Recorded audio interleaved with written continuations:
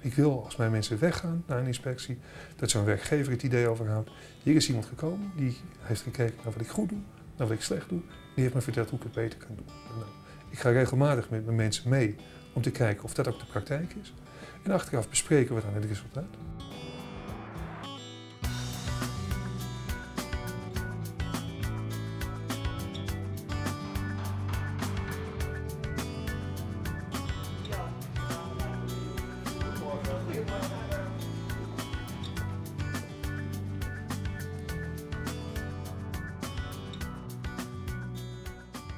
De arbeidsinspectie inspecteert op veiligheid en gezondheid in het bedrijfsleven. Ik ben van de directie bouw. Mijn mensen inspecteren dus bouw, gezondheid en veiligheid. Dat doen we reactief en dat doen we actief. Nou, reactief houdt in uh, klachten en tips die we binnenkrijgen, die lopen we na. En uh, we onderzoeken ook alle ernstige arbeidsongevallen die gebeuren. Verder, uh, het belangrijkste deel van onze tijd spenderen we aan actieve projecten. Nou, wat is nou een actief project? Een actief project uh, dat, is, uh, dat komt voort uit signalen die we krijgen uit het werkveld. Bijvoorbeeld uh, instroom arbeidsongeschiktheid. Komt er uit een bepaalde branche, en noem ik als voorbeeld even sloop. Kom, komt er uit die bedrijfstak veel arbeidsongeschiktheidsinstroom. Dan gaan we kijken, nou hoe komt dat dan? En op het moment dat we dat boven tafel hebben, hoe dat dan komt, schrijven we daar een projectplan. En aan de hand van dat projectplan gaan mijn mensen, die gaan de, de boer op, die gaan langs de bedrijven. En die gaan kijken, speelt die situatie, speelt die zich hier ook af? En kunnen we die verbeteren? Nou, dat is wat mijn mensen doen.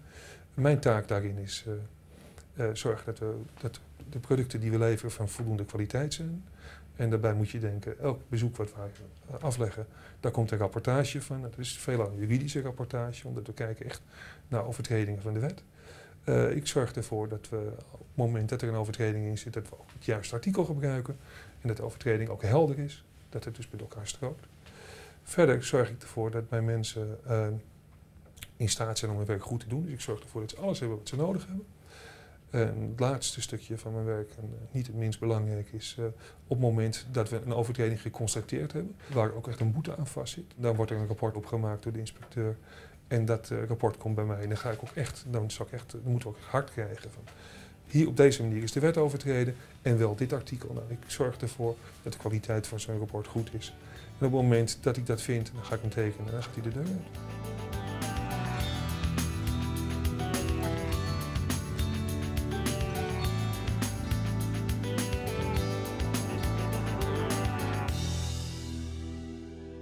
Het moment dat bijvoorbeeld een ongeval gebeurt, ze sturen een inspecteur ter plaatse, die doet daar waarnemingen, die hoort daar getuigen.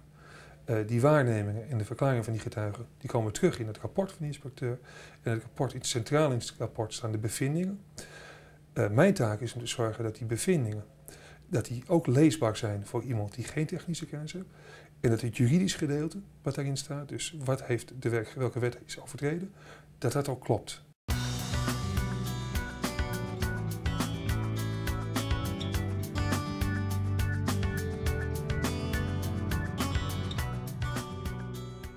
Drieënhalf jaar ben ik inspecteur geweest en toen kwam er bij ons een, een, reorganisatie. En uh, er kwam een mooie positie vrij als teamleider van een inspectieteam.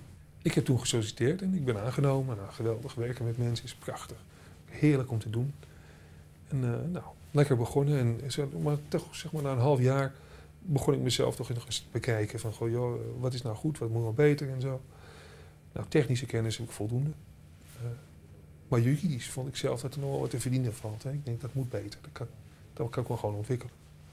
Nou, toen ben ik gaan kijken naar opleidingen. Wat voor opleidingen zijn er? En, uh, nou, dan kijk je eerst naar wetenschappelijk onderwijs. En, uh, gaandeweg kwam ik ook uh, HBO-rechten tegen. En nou, dat is geweldig. En waarom? Die HBO-rechtenopleiding is veel praktischer. En ik ben een heel praktisch ventje. Dus dat sprak me geweldig aan.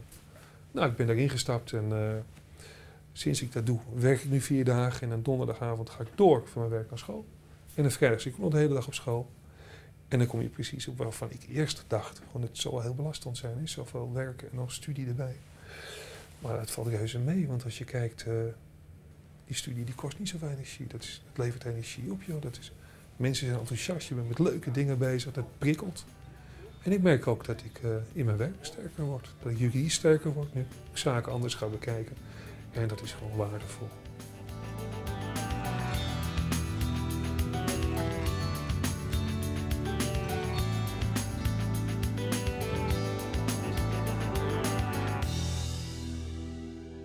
Ik vind het heel belangrijk dat mijn mensen voldoende persoonlijke ruimte hebben om goed in hun vel te kunnen zitten. Wie goed in zijn vel zit, die presteert gewoon beter. Nou, uh, ik moet natuurlijk ook wel voldoen aan cijfers. Hè. Een aantal inspecties die ik moet opleveren, daar moet ik aan voldoen en dat levert een spanningsveld op. Nou, wat ik ook belangrijk vind is uh, de indruk die een inspectie achterlaat. Uh, als een inspecteur in een bedrijf komt, dan heb je een behoorlijke machtspositie. Die macht die kan je bord en lomp neerzetten of je kan hem positief gebruiken. Ik wil als mijn mensen weggaan naar een inspectie, dat zo'n werkgever het idee overhoudt.